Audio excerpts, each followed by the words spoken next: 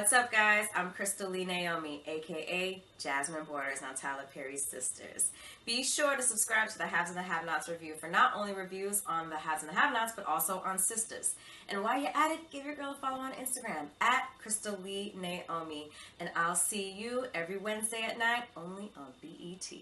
All right, Sistas fans, here we are. This is the episode title and synopsis for the season two finale because remember season two is 22 episodes uh, whereas season one was 25 if i'm not mistaken i also believe it was stated that season three is 22 episodes as well. So uh, it will be airing on the 31st and it's hard to believe that i look i know the month just started but when you look at the calendar the 31st the final day of the month is the finale for Sister Season 2. So before going further in the video, um, yeah, it's pretty alarming how many people who watch my videos are not subscribed to the channel. So I'd really appreciate it for you to take a moment and hit that subscribe button. That way you don't miss out whenever I post new content to the channel. And on top of that, hit the like button, hit the thumbs up button there. And if you want to go ahead and take a moment to follow me on my social media platforms, links are in the description below and hit the bell notification icon and select all. That way you don't miss out whenever I post new content to the channel. So let's go ahead and get into this. In the Shadows, Season 2, Episode 22.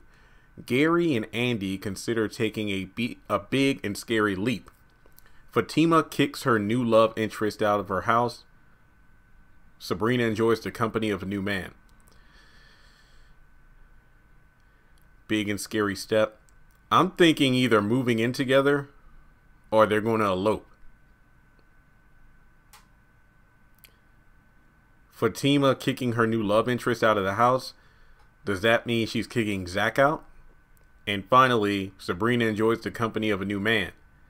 Are we talking Jacoby here? Because I'm just thinking from the fact that we only have uh, four episodes left, so I doubt it's going to be a situation where, oh, well, Zach and Fatima, you know, kind of break up on the 17th of this month and then on the 20 on the 31st she has a new guy she's kicking out. Nope. And then with the sabrina and jacoby thing i don't really think they're going to exchange him anytime soon. So i really do feel like um, it's going to be sabrina and jacoby uh, fatima and zach and then whatever gary and andi decide to do a big and scary step. Now it's really hard to decipher what that means because of the fact that you really need to look at it from the perspective of is it big and scary for the both of them or is it big and scary for just Andi?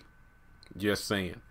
Uh, in the shadows, so that means you know like what's done in the dark comes to the light, or something that's going to come out from the shadows. Wait, wasn't that a uh, wasn't that the TMNT Teenage Mutant Ninja Turtles second movie, the one where Tyler Perry was Baxter Stockman? TMNT Out of the Shadows. At least I think that's what it was. Honestly, I've never watched that movie. I do got the Blu-ray though.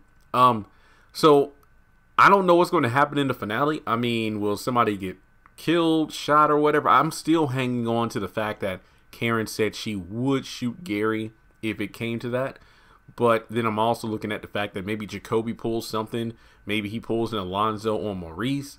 Or um, maybe it's a situation where Hayden comes back for revenge on Zach and Fatima. So I don't know if there's going to be necessarily a death, but I do feel like somebody is going to get hurt because that's usually how these things go in these finales. But let me know your thoughts in the comment section below.